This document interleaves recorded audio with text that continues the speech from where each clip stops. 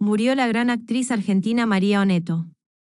La actriz María Oneto, recordada por numerosas interpretaciones principalmente en cine y televisión, falleció este jueves a los 56 años. Con gran dolor despedimos a nuestra afiliada, la querida actriz María Oneto.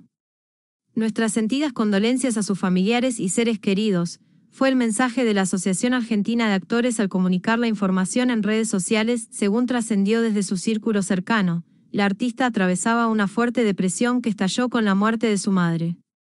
Horas después del hecho, las pericias confirmaron que la artista se quitó la vida en la soledad de su departamento.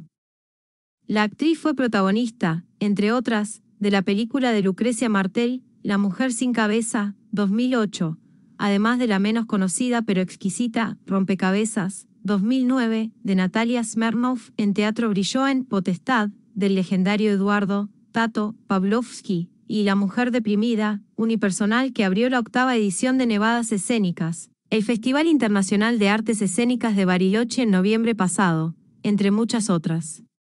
En televisión se destacó en ficciones como Trátame bien, junto a Julio Chávez y Cecilia Roth, y Doce Casas.